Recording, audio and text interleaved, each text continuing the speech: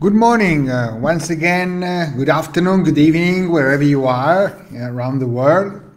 Uh, thank you very much for being here. And uh, once again, we are here for a talk about Italy. Uh, what's going on here? Um, a few words of the current situation and uh, um, the continuation of our story, of our tale about uh, the history of Rome, and then we will talk about later on in the next episodes. Uh, we, we, will, we will go on with the history of Italy until uh, the present days. So, uh, very glad to hear that uh, uh, there are a few of you online. And for my American and Canadian friends who now it's in the middle of the night, I hope that they will be able to to tune in uh, uh, later on and they will enjoy this uh, um, this episode. Okay, so this this is episode five. we have left you last time with the, the Caesar's death, and now uh, we have two. We had two new characters. They were Octavian and um, Anthony, and now we're going to see how it's going to end and uh, uh, how we will shift from the republic to uh, to the empire. anyway, um, first of all, a few words about uh, what's going on here, the current situation. And uh, well, this is a picture of uh, the Duomo of Milan. This is you can see on the left the Galleria Vittorio Emanuele. Well, that's that's a sad picture because it, it's empty. Uh, you can see that uh, it's uh, uh yeah, it, it's a picture probably taken in the first uh, hours of the day, but uh, the the piazza would be would be taming with people going to work, and it's not. This means that the situation now is is not very good, to be very honest.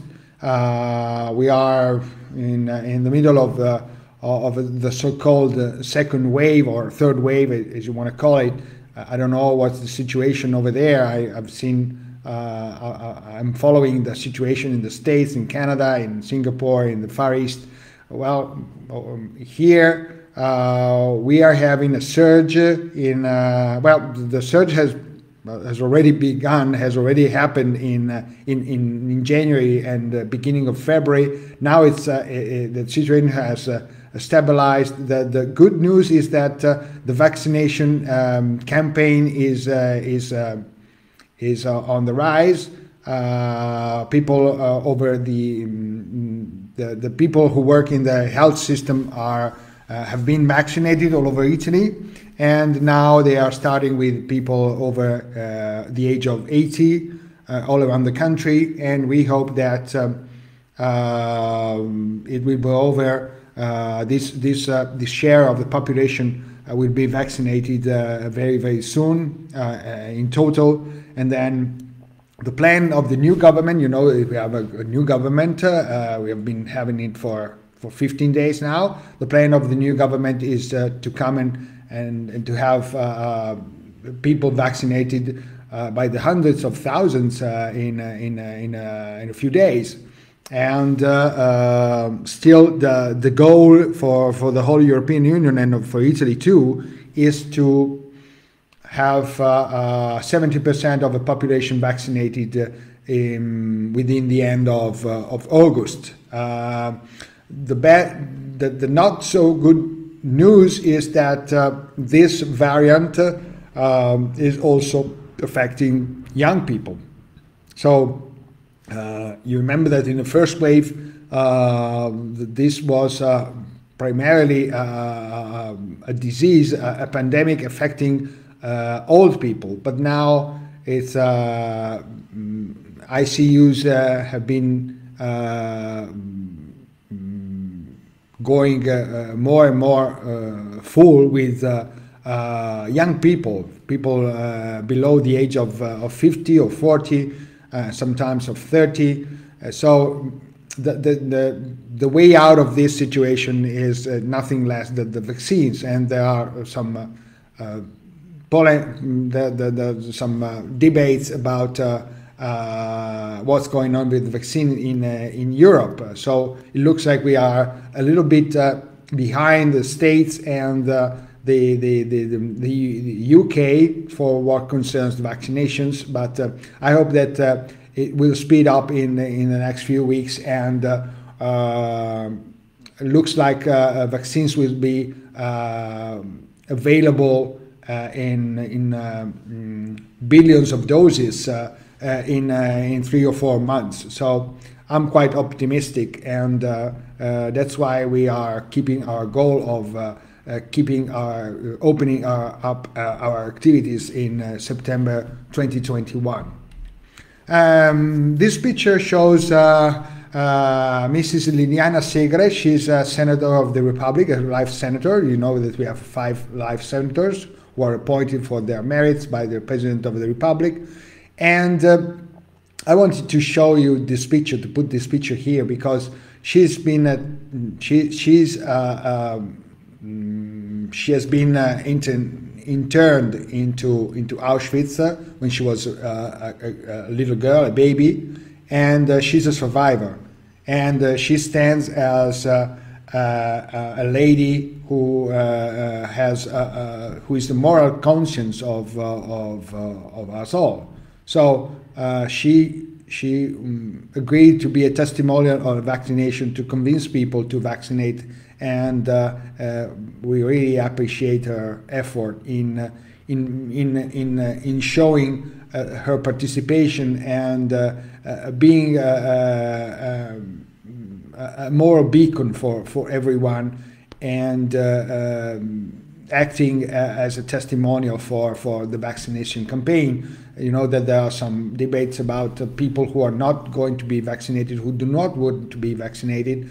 Uh, personally, uh, uh, I'm looking forward to be vaccinated, and I had my my my relatives, my dears, uh, over 80 vaccinated last week, and I'm, I'm very happy about that because this this is uh, very very a relief for, for, for us all, for, for, for my family, for myself, and, and for my, my dears. So um, I hope that this vaccination campaign speeds up and we are all vaccinated uh, uh, in in very short time so that we can return to a, a, life which we don't know how it will be, but we hope it will somewhat get closer to to, to normality. Uh, and uh, but um, um, probably this thing is going to stay with us for for a long time.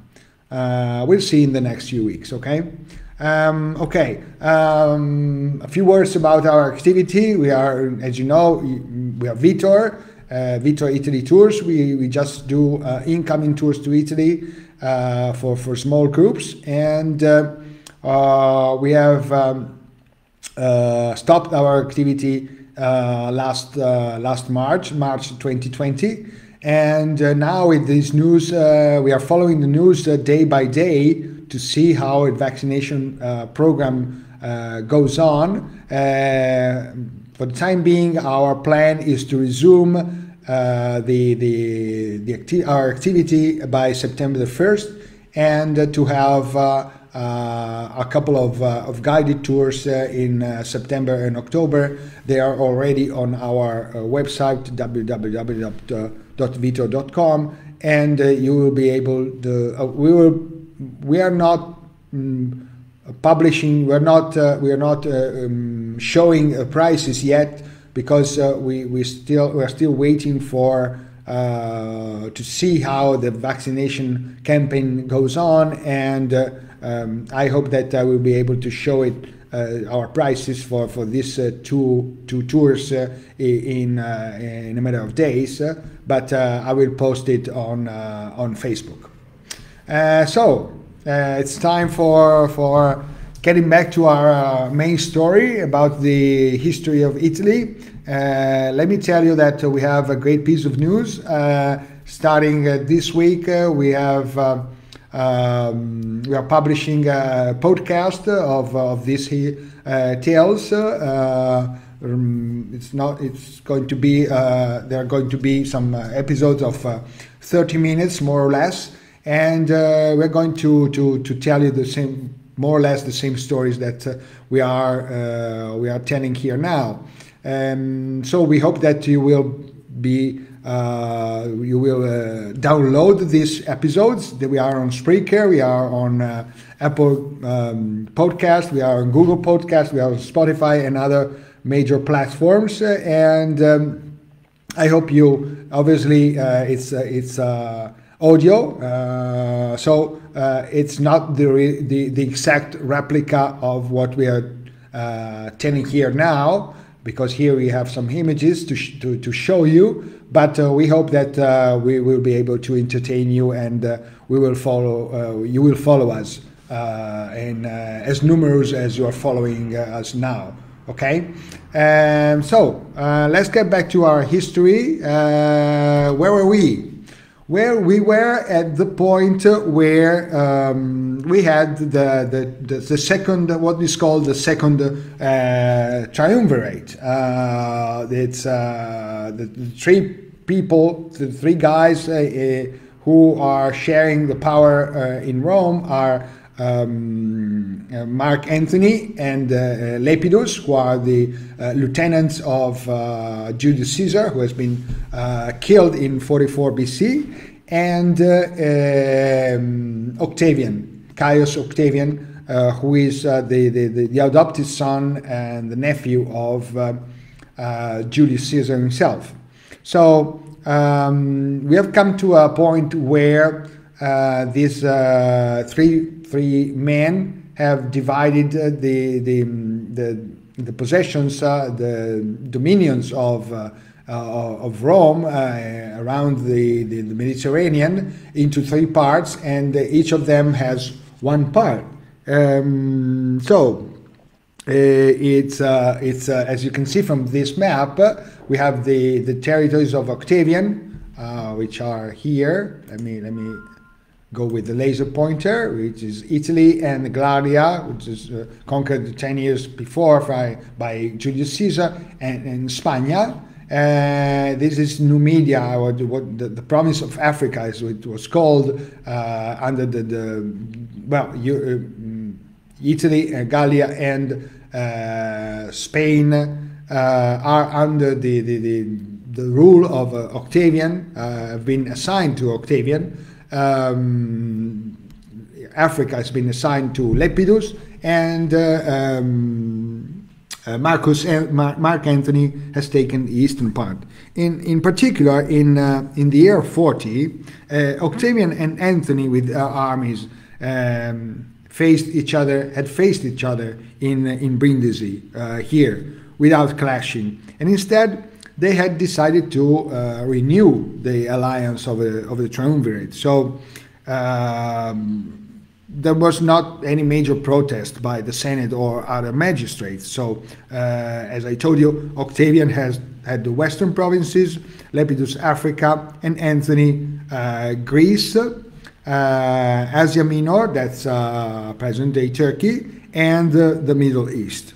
And now this agreement was also sealed by uh, a marriage uh, because uh, Antony married Octavia, uh, Octavian's sister. And um, the following year, in 39, the triumvirs made an agreement with the Sextus Pompey. Sextus Pompey was the great general's son. Uh, he had recruited a fleet of exiles, proscribed, former slaves, and pirates, and he had occupied Sicily, Sardinia, and uh, Corsica, and uh, hindered the grain supplies from uh, from uh, Sicily and from Egypt to Rome. Um, so, um, in exchange for renouncing uh, these uh, such piracy actions, Sextus Pompey was guaranteed the government of Sicilia, Sicily, uh, Sardinia, Corsica, and uh, Achaia. That's the Peloponnesus here, this area here. But uh, this agreement was, uh, was uh, short lived. Um, Sextus Pompey uh, did not receive the, the province of Achaia, and uh, so he resumed his uh, privacy action, piracy action. And in 38, uh, before, um, the triumvirs decided to eliminate him, and this time permanently. And um, the decisive naval battle uh, took place in uh, 36 near Milazzo, here in Sicily. And the fleet of the triumvirs, uh, which was led by General Marcus Agrippa, a contemporary and friend of Octavian, defeated the one uh, of Sextus Pompey, and uh, he fled uh, to Asia and later was, was killed here. And um, with Sextus Pompey, the last member of the factions uh, linked to the Republican system had been uh, eliminated. Uh, a few weeks later, Lepidus, who had brought his troops uh, from Africa to, to Sicily to fight against Pompey, um, he was not happy about uh, his subordinate role in, uh, in, the, in the triumvirate, and he attempted to regain a role of some weight and rebelled against uh, Octavian. But uh, Octavian was clearly too strong for, for Lepidus, and, and also Lepidus soldiers know, knew it. So it was enough for Octavian to show up at uh, Lepidus' camp alone and unarmed as Caesar, son of Caesar. And uh, Lepidus' troops instantly passed on, on his side. Um, Lepidus had his life saved and retired to private life uh, in a splendid villa in Circeo, here close to Rome. Uh, so, having cleared the, the fleet of Sextus Pompey and having neutralized uh, Lepidus also, Octavian uh, was now the absolute master of Italy and all the western provinces. So, in November 36, uh, Octavian returned to Rome and celebrated his triumph, and the Senate granted him the inviolability for life. Until then, it was it has been it had been a, a prerogative only of the tribunes, and also the right to wear the laurel wreath uh, as Caesar already did before him. Now, what was Mark Antony doing in the meantime? In 41, uh, at the time of his first voyage uh, to the east, after the victory in Philippi, he had ordered Cleopatra, you remember the charming queen of Egypt, Caesar's lover, uh, to meet him in Tarsus, in Greece. And Anthony remembered her as a, as a young girl. He had met her a, a few years before in, uh, in Alexandria, but uh, he had not seen her since. And that day, Cleopatra arrived at the meeting, determined to assert all her skills as a seductress.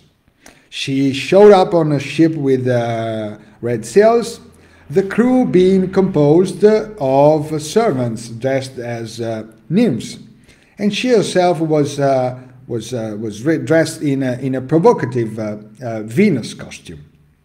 When he saw her, Antony was stunned.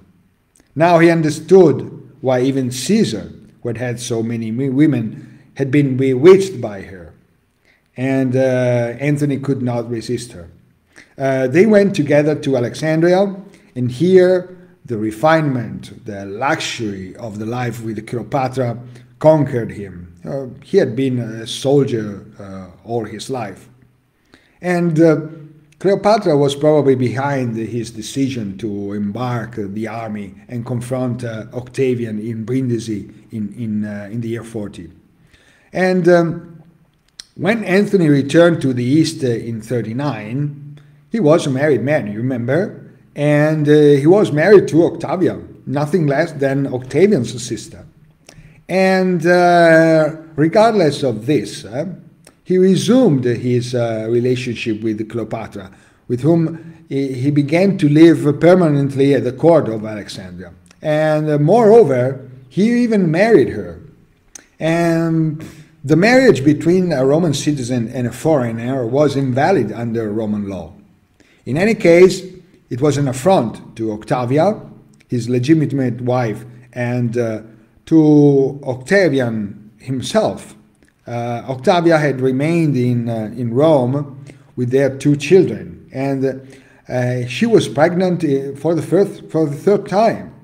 Um, so it was easy for Octavian to present Anthony as uh, a man who, overwhelmed by his uh, passion for a corrupt uh, foreign woman, failed to, to in his duties as a husband and, uh, and a father. And uh, it was not the only fault in the eye of the public opinion in, in Rome. Here is a map. I want to show you something uh, uh, about the, the, this, this area here, okay? Um, in, in, fact, in, in 36, Anthony organized a great expedition against the Parthian Empire here. The only um, powerful uh, um, entity, uh, powerful enough to, to contrast, contrast Rome. Uh, you probably remember that uh, in uh, 17 years earlier, in, uh, in 53, the Parthians had annihilated uh, Crassus' army in Carrhae.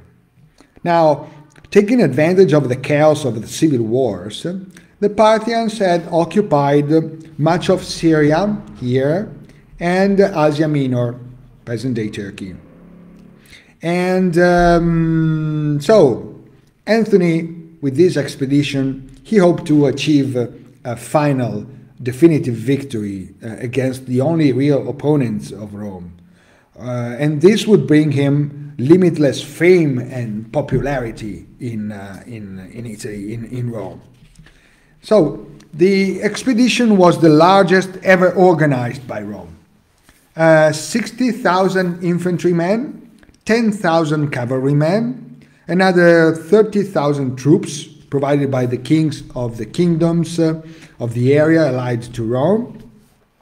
But uh, it had started late in summer, and Antony ran unnecessarily behind the enemy for 500 kilometers, leaving behind the siege machines that uh, were intercepted and destroyed by the Parthians.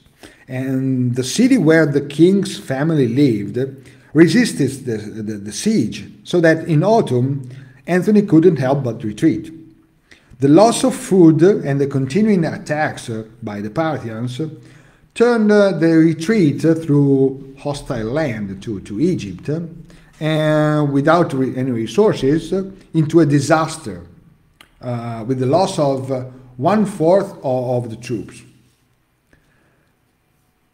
Despite his uh, disastrous retreat to, uh, to Egypt, in 34, Anthony was able, capable, uh, to offer himself a solemn triumph in Alexandria, scandalizing Rome.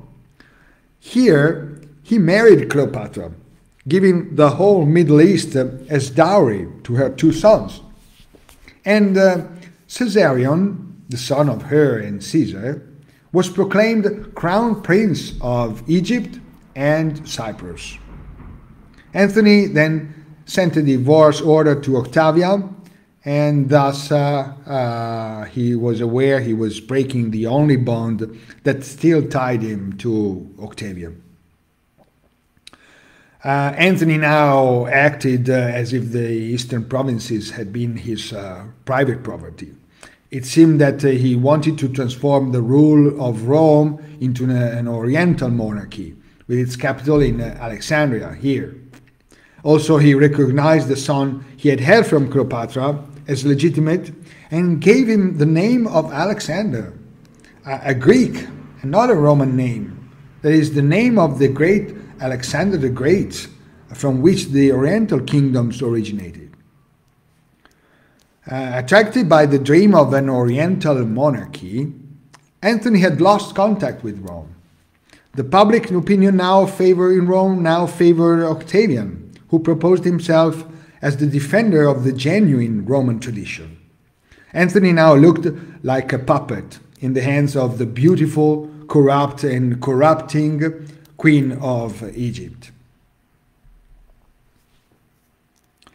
Octavian was uh, uh, the, a master of, uh, of communication.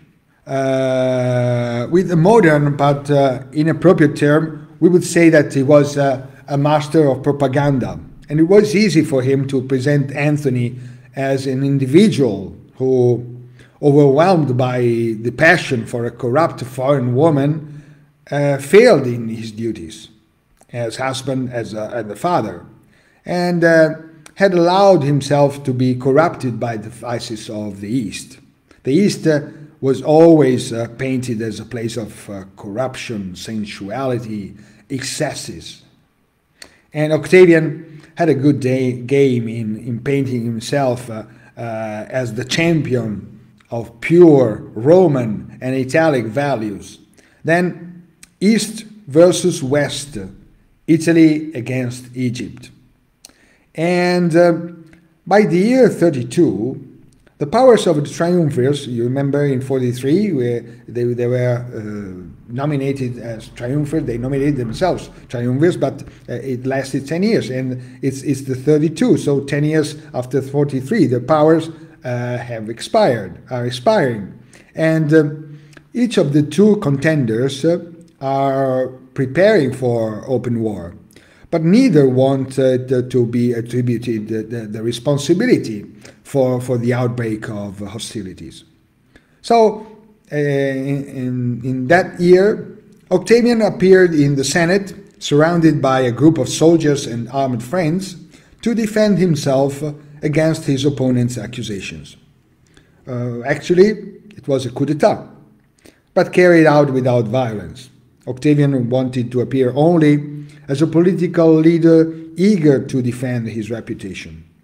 And uh, the two consuls uh, who favored Antony helped him by leaving Rome, and uh, they left him alone on the political scene.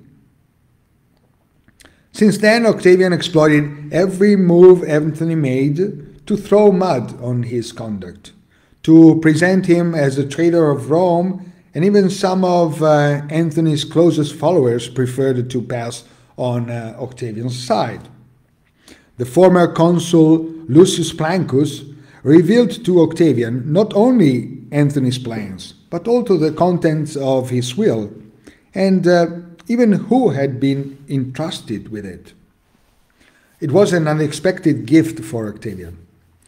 Uh, he quickly found the will, which was in possession of the Vestals, the priestesses of uh, Vesta, uh, of the goddess Vesta. Uh, he seized it and uh, he took it first to the Senate and then to the People's Assembly, where he had it read. Antony, in it, solemnly stated that Caesarion was indeed Caesar's son so he, thus he wanted to overshadow Octavian, who was only the adopted son of Julius Caesar. And also, Anthony designated the, the sons he had from Cleopatra as his only heirs, and Cleopatra herself as regent. And finally, wherever he died, he was to be buried in Egypt. The document was uh, most likely a fail, a fake but it served as a confirmation of all the suspicions that uh, most Romans had towards this uh, intriguing traitor, and allowed Octavian to banish a war. A war that uh, he, uh, very intuitively but very perceptively, he declared not to Antony, but to Cleopatra. So the conflict was presented as if uh, it was directed against a foreign power, not as a new civil war. Antony was portrayed as a simple trader, uh, subject to the queen of Egypt. And uh, the two opponents prepared for the fight. And Octavian, although not in an official position, obtained the oath of allegiance and therefore funds and troops from Italy and the other western provinces. And on the other side, were um, backing uh, Antony, were the populations of uh, Asia Minor, Greece, Macedonia, Thrace, let's go back to the map here. Uh, okay, uh, Asia Minor, and uh, um, Greece, here, uh, Macedonia, here, uh, Thrace, here, here, uh, Cyrenaica, here, the Egyptians, and numerous kings and princes of state bordering with Roman rule in the east. Um, so Octavian's propaganda was very skillful to present the war as the clash between the Latins and the Latinized West, morally healthy, faithful guardians of tradition, um, respectful of the Republic, uh, and uh, the Greek and uh, barbarian East, refined but uh, corrupt.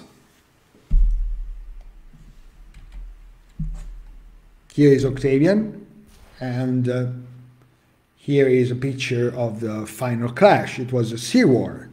The two fleets clashed at Actium in northwestern Greece, here. Actium is here.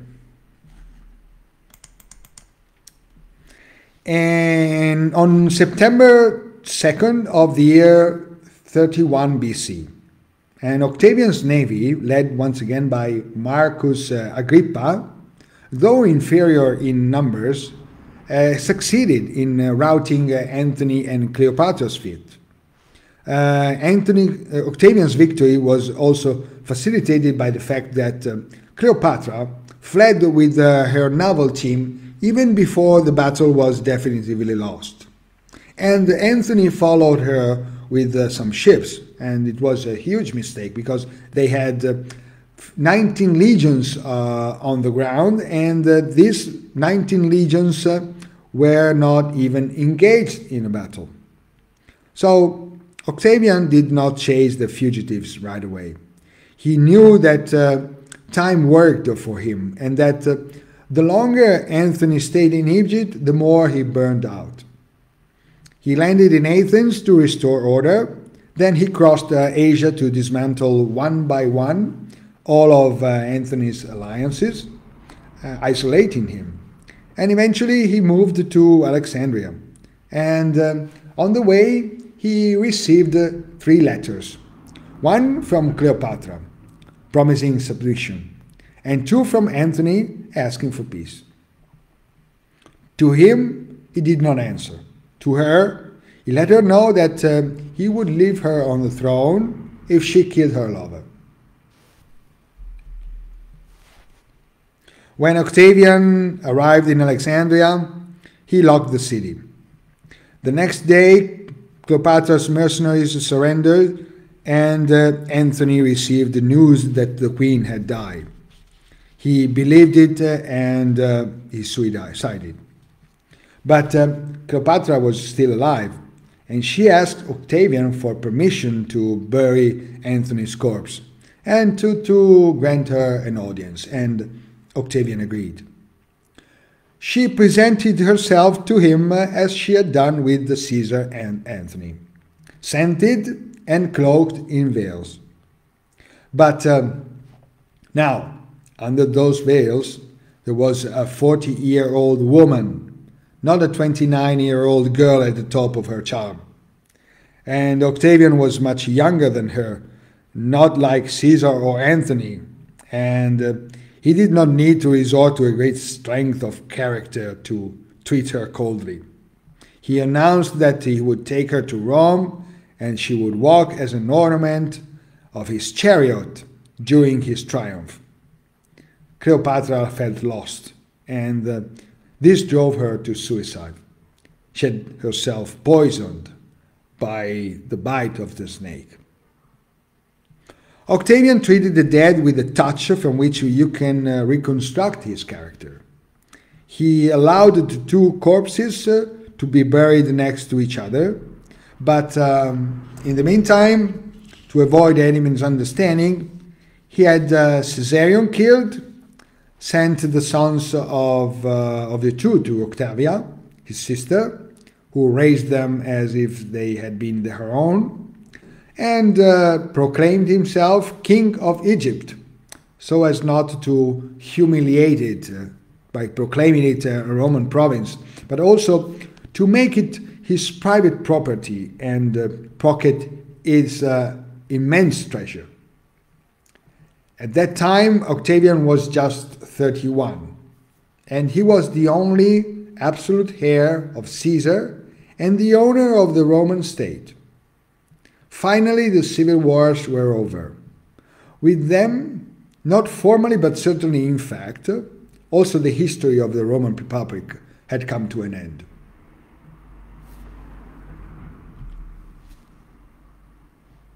When Octavian returned to Rome in 29, laden with the riches of Egypt, he was the undisputed master of the state. His victory was total, and not only on a military level. He had won in the minds of the Romans too.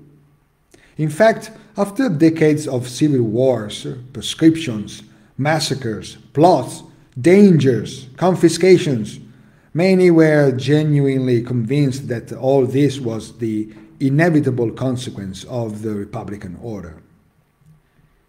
Peace under the power of one seemed preferable to the chaos of war and destruction, uh, a result of the endless disputes among political factions by, led by individuals who used the Republican offices and legions as instruments of their power struggle.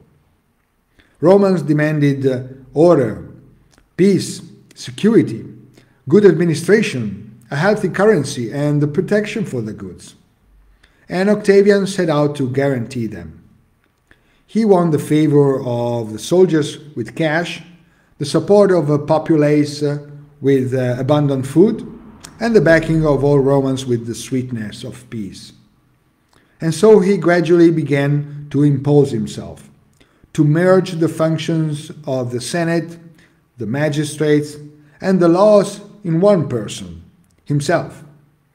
And no one opposed to it. Using the Egyptian gold, he dismissed most soldiers. Uh, the army had risen up to the total of 500,000 men. Giving veterans some land, he bought on purpose to turn them into peasants. He kept 200,000 in service, and uh, he proclaimed himself emperor, a purely military title. And uh, he started great public works. Now, he faced a, a much more difficult task how to consolidate this immense power, and uh, on the other hand, how to avoid the tragic end of uh, great political figures such as Pompey, Caesar, Antony, the victims of their greatness. First of all, he should avoid a mistake that had been fatal to all of them. The history of the Roman Republic and the same deadly accusation made by the enemies to Julius Caesar, they, all this taught that uh, he should never pronounce words as king and kingdom. For over five centuries, since the monarchy had been uh, abolished uh, and the republic established, for a Roman politician, the only suspicion of aspiring to a kingdom led to political and uh, often even physical death. The very murder of Julius Caesar taught him so. But uh, how was it possible? This was the great problem. Things needed to be changed because it was clear that the old republic uh, was uh, now exhausted, was worn out. But uh, how was it possible to change things without switching to a fully declared uh, monarchical regime? The path followed by Octavian is a subtle and brilliant game with words. Change everything, making people believe that nothing changes. The Roman ideology was the opposite of the modern one. Contrary to change, to new things, uh, a politician who made novelty his slogan would have committed suicide, and not just politically. The best of history was uh, for Romans behind them. It, it was on the side of the ancestors. It was mos maiorum, the customs of the ancient heroes, the golden age. Um, so even counting on the desire for peace, Octavian could not simply proclaim himself king or dictator. The story of Caesar, who had been murdered on the charge of having aspired to a kingdom, was a clear sign that the Romans would not accept a real monarchy. Octavian understood this and he presented himself not as a ruler, but as the one who restore legality, restores legality, and gives the power back to the Senate and to the popular assemblies after the chaos of the civil wars. He had the extraordinary ability to carry out a revolution, giving the impression of restoring tradition. As Octavian himself recalls in the Res Gestae, his uh, political autobiography, uh, the, decisive, the, decisive, year was uh, 27 BC. At the Senate session on January 13th, Caesar's son declared solemnly that he wanted to return all his power to the Senate. He proclaimed the restoration of the Republic and announced that he wanted to retire to private life.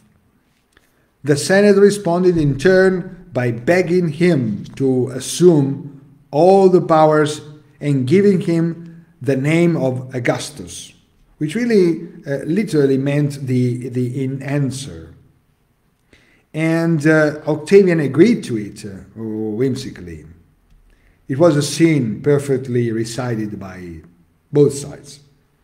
And it showed that the conservative and Republican obstruction was over. Even proud senators preferred a master to chaos. Augustus uh, is a, a faithful word, an exceptional idea. The title of Augustus, uh, worthy of veneration, had no real effects, but uh, was only was not only a symbolic homage, as uh, it had a, an almost sacred value. Octavian, although formerly a magistrate like the others, was put on a level of higher authority the title of Augustus became an integral part of Octavian's name. So now he was uh, Caius Julius Caesar Octavian, Octavianus Augustus, from which, uh, and this title of Augustus, it passed uh, from uh, to other future uh, emperors. But Augustus' title was only a step in the construction of absolute power. Uh, always complying formally with the law.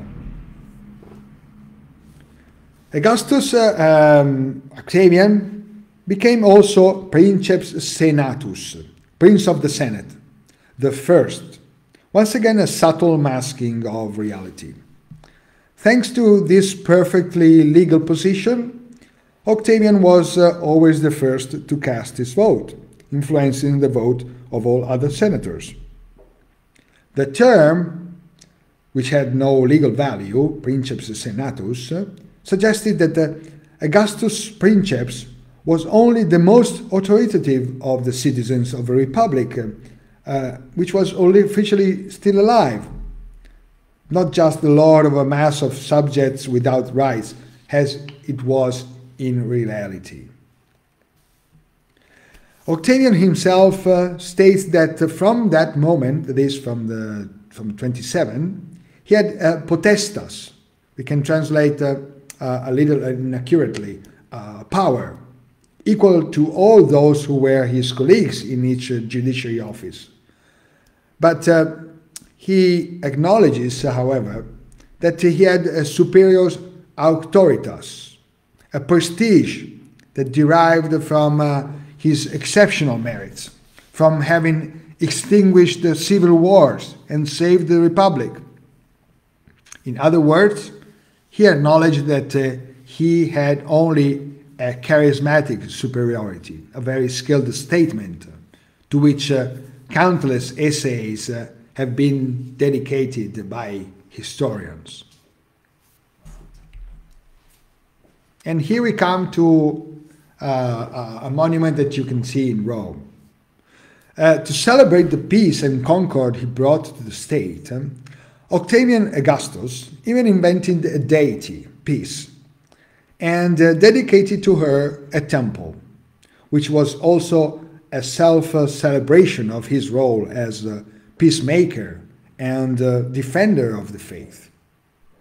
It is the Ara Pacis, the altar of peace, which uh, we can still admire today on the banks of the River Tevere, next to the mausoleum of Augustus, which has been opened again uh, in, uh, in the last few days. Uh, Ara Pacis was built between 13 and 9 BC, and it was originally placed uh, right in Campo Marzio, the area traditionally dedicated to the god of war, where the rites propitious for military campaigns were celebrated. The monument consists of an almost square marble uh, enclosure surrounding a monumental altar accessible through some steps, you can see them here, and it's decorated with uh, plastic reliefs. In the enclosure, there are two entrances which allow you to enter, turn around the altar, and exit from the opposite side. Augustus' political and cultural message is carved on the outer upper band here of the monument. Here are uh, dedic uh, dedicatory procession and two scenes uh, that uh, refer to the foundation of Rome.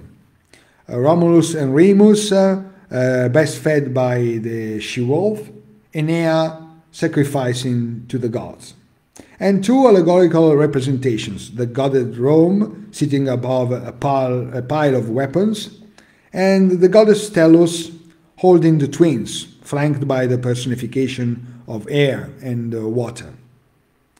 The characteristics attributed to the goddess Tellus, uh, animals and, and fruits, can see here, okay, indicate the birth of a new golden age for the earth. This relief, therefore, is intended to uh, reinforce the, the idea of happiness associated with fertility and prosperity. The scene of the wolf recalls the origin, the divine origin of the founder, Romulus. Uh, the twins fed by the she-wolf are, in fact, according to tradition, children of the god Mars, you remember from the first episode, and uh, the Vestal priestess Rhea Silvia. And uh, the, pres the presence of uh, uh, Aeneas is a clear reference to gens Julia, the family of uh, Octavian. Uh, Aeneas, like Augustus, is a pious man, respectful of uh, his ancestors, and uh, presents himself as uh, with a veiled head. The allegorical figures of Rome and the Tellus allude to the fate of the empire. Rome founded uh, his, its power on military force, as you can see here. Rome, the goddess uh, Rome is sitting on shields and cuirasses and, uh, and weapons. Uh, and, uh, but now, the sense of the monument is that uh, it is time to govern with justice and peace over all other peoples and above the elements of nature. And here we can see the procession and uh, in the procession, together with the most important priests of uh, the Roman state religion, uh, all members of the imperial family, including women and children, even the acquired members of the family, are depicted. The characters could be recognized by the Romans, who saw that uh, portraits in statues and coins. In the lead is uh, Augustus, here this is the, the complete frieze, and I have enlarged two sections of it. So it is here Augustus, then uh, a procession of, uh, of priests, then uh, Marcus Agrippa with his son uh, uh, Caius Caesar, uh, Julia, the daughter of Augustus and wife of Agrippa, Tiberius, Antonia Minor, the daughter of Mark Antony and Octavia, sister of Augustus, followed by um, his son Germanicus here, and uh, facing her husband Drusus, brother of uh, Tiberius. The proportions of the draperies are mm, strictly classic, although the way in which the figures are grouped is more naturalistic than the one on the procession on the frieze of the Parthenon in Athens, from which the, the one of this altar derives. The Ara Pacis is, uh, is truly the monument that most exemplifies the role that Augustus is building for himself. Father of the fatherland, second founder of Rome, the one who carries out Rome's mission to unify the known world according to the model of Roman civilization. From the Ara Pacis, an idea spreads throughout the world. Augustus is destined to be welcome about, uh, among the gods, and he and the emperors after him must be venerated as gods. So, for several years from uh, 31 to 23 BC, Octavian retained power by being repeatedly elected consul. At the same time, he maintained power over numerous provinces and the legions stationed there. But he was aware that it was a, a temporary accommodation. Uh, the solution was uh, found in 23 BC.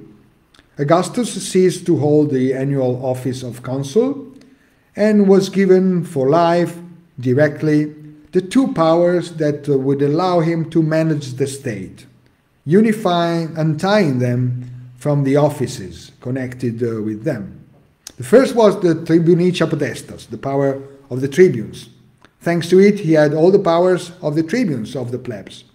He could convene the Senate and the People's Assembly, present bills. Above all, he could veto any decision of the state and other magistrates. And he even had the right to force anyone to obey his orders and to punish those who did not comply. So, all in all, nothing could be approved uh, without his consent. The second was uh, the proconsular command with powers greater than the other proconsuls and uh, with no time limit. By this, uh, Augustus retained the title of emperor and thus the control of the army. Formerly, the republic with uh, its magistrates, the senate, and the popular assemblies remained alive, but um, everything was designed in a way that the supreme power was in the hands of an individual to whom the Senate and the people themselves had formally attributed a series of prerogatives. Senators and members of the senatorial families still occupied the offices of the Republican tradition. Questura, pretura, consulate, but these offices were increasingly devoid of real powers because their administration were run by officers nominated directly by the emperor. The popular assemblies were completely deprived of uh, effective power, and though they were not eliminated, they were reduced to formally approving decisions already taken elsewhere. The election of magistrates by the rallies followed the emperor's uh, directions, and only the laws proposed by him could be passed.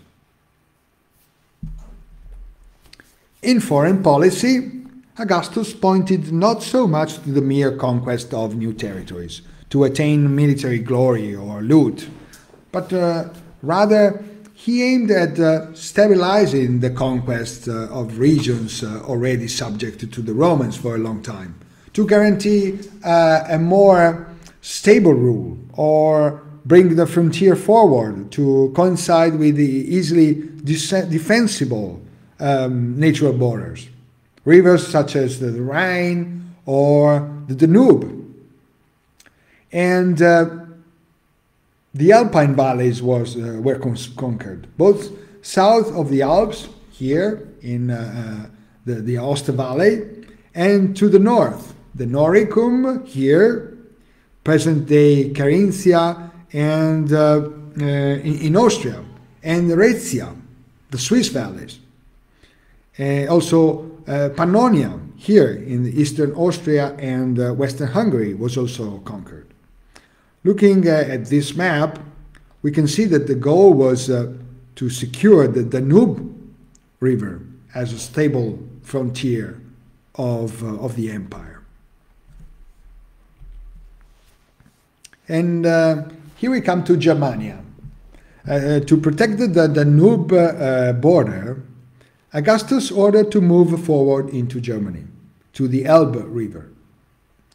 And uh, thus, uh, the northern boundary of the empire would be on the line drawn by the Elbe uh, Danube rivers. And between uh, 12 and 9 BC, Germany was submitted by Druso, his uh, Augustus' uh, stepson. It seemed that it would become Roman as uh, peaceful coexistence was beginning between Romans and Germans, as it was already happening in, in Gaul. The situation in the region was, uh, was quite peaceful. Romans were already founding new cities there, and uh, as they had done elsewhere in, uh, in Europe. Germans and Romans were beginning to mix up in markets and in fora. But um, the fire was smoldering under the ashes. In 9 AD, when Roman rule in the region seemed to have stabilized, a revolt of the Romans, uh, of the Germans broke out, led by the head of, uh, of the tribe of the Cheruscans. He had fought in the Roman army during previous campaigns. He had even obtained uh, Roman citizenship. His full Roman uh, Roman name was uh, Gaius Julius Arminius. Arminius was the mm, son of a Cheruscan chief, chief, and presumably an officer in the Roman army. But um, he had plotted against the Roman governor Publius Varus. Varus was informed of the plot, but refused to give credit to it, and set out to put out down a revolt of which the conspirators have warned him.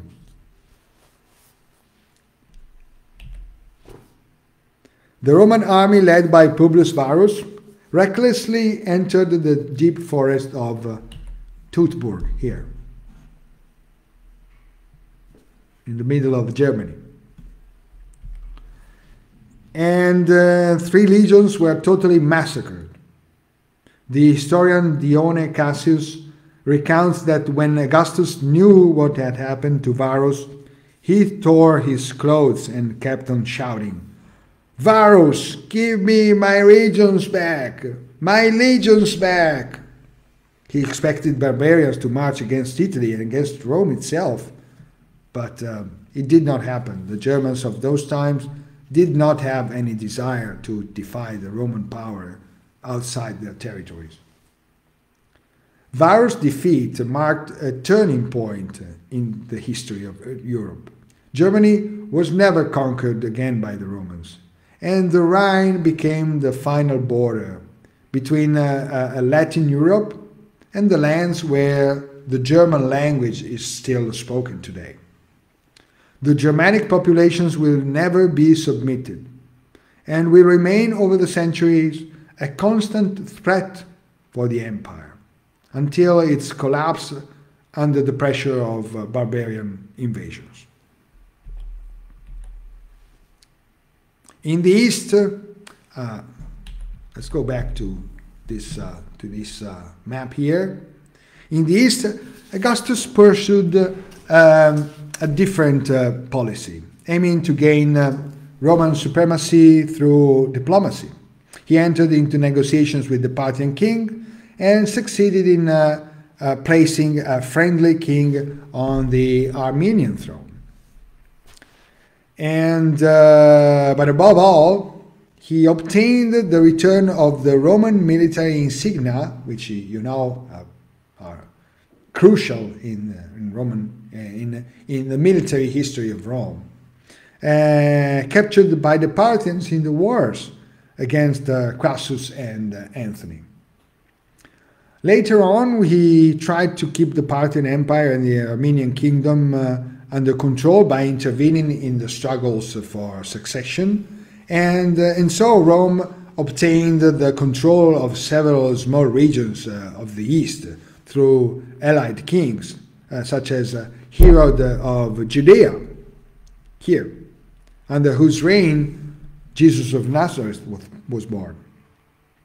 These small kings were totally submissive to the Roman will, and Augustus even decided their family policies and their succession.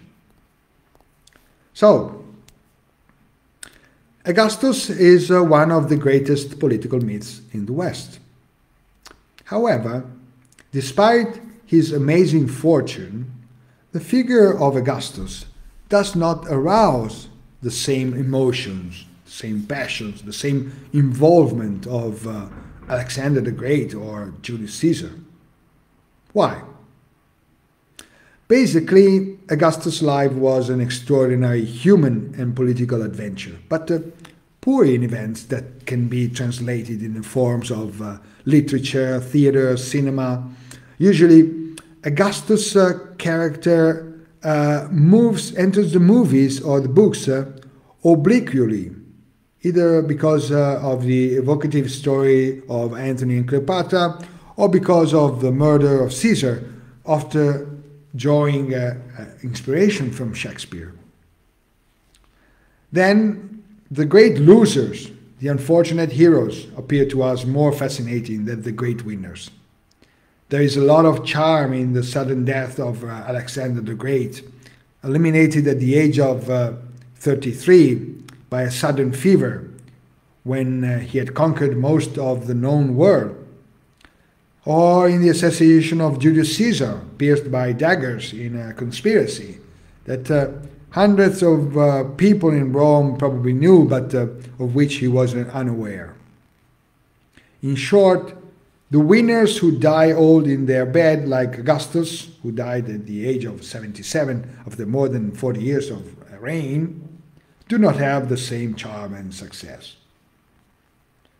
Well, notwithstanding this, the age of Augustus is certainly one of the happiest times in Roman history.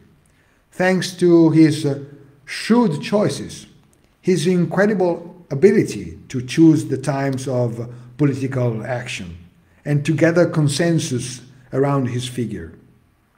Caesar's life and death uh, may be more intriguing, more dramatic, but um, Caesar did not survive his creature.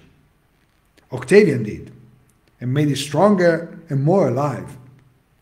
Thanks to him, Rome will be the beacon of the Western world for another 400 years, and its influence will extend well beyond the end of his empire.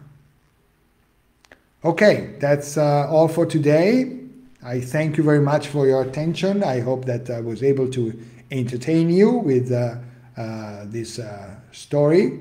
And uh, next time we will talk about uh, the age of Augustus, what happened during his age, the, the, the realizations. Also, we will, I will uh, lead you, take you to, to the Pantheon in, uh, in, Rome or to, um, oh, to, the, to, to the, the Fora, uh, the Imperial Fora, still in Rome, and in, in two weeks. So I hope to. Um, see you again online in two weeks. Thank you very much for your attention. And please follow us on Facebook and uh, on www.vitor.com. We'll have more uh, episodes uh, of uh, our podcast uh, in a few days.